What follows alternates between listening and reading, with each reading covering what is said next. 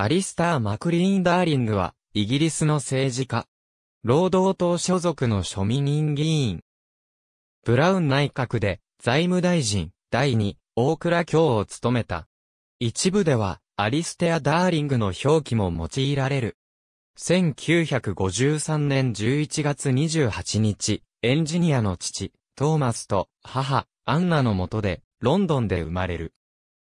彼の王子、ウィリアム・ダーリングは1945年から1957年の間、エディンバラ南選挙区選出の保守党議員だった。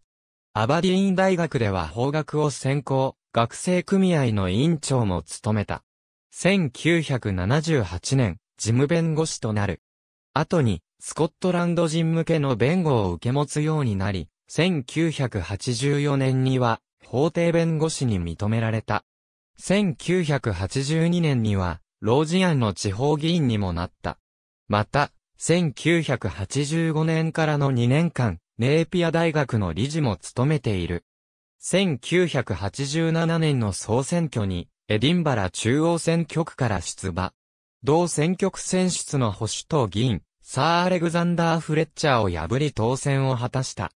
なお、後に、スコットランド議会が設置されると、スコットランド地区からの庶民人議席数は削減されてしまう。そのため、ダーリングは2005年の総選挙からは、エディンバラ南西選挙区から出馬することになる。労働党の重鎮、副党首のジョン・プレスコットや、ゴードン・ブラウンはダーリングが落選することを心配し、選挙区入りして彼を応援した。当時は彼自身閣僚であったにもかかわらず、かなりの苦戦が予想されたが、彼は最大限の努力の結果、議席を守り抜いた。庶民議員として、1998年、スコットランド法に関わる。後に、影の内閣で、内務省のスポークスマンとなった。1992年の総選挙の後は、大蔵省の影のスポークスマンとなった。1996年、労働党党首にトニー・ブレアが就任すると、ダーリングは影の内閣で財務省首席担当官となる。1997年の総選挙で労働党が勝利し与党になると、彼は財務省首席担当官として正式に閣僚入りした。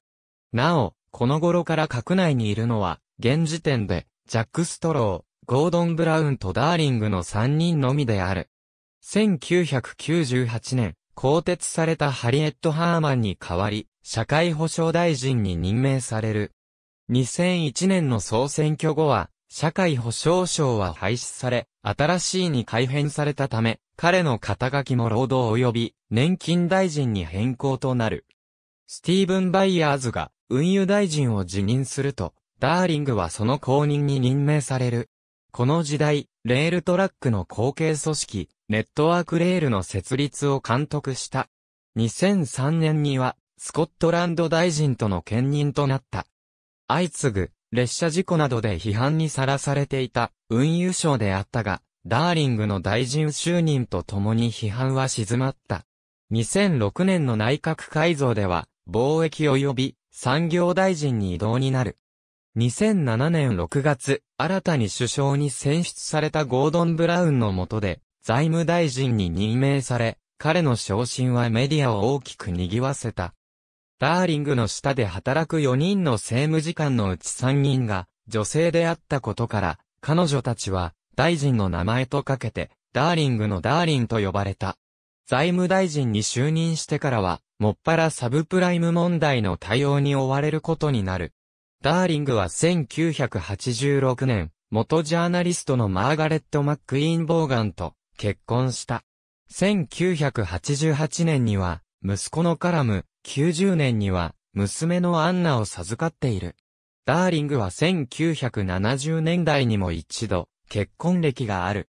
彼の自宅は、エディンバラのモーニングサイド地区にあり、ハリー・ポッターシリーズの作者、J.K. ローリングと同じ通りの住人でもある、ピンク・フロイド、コールド・プレイ、レナード・コーエンのファンでもある。彼は、イギリスで最も退屈な政治家に2年連続で選ばれており、報道陣の間では、ダーリングはアナグマに似ているというジョークが有名である。かつては髭を生やしていたが、ニューレーバーのイメージに合わないとの理由から、反らされたという噂がある。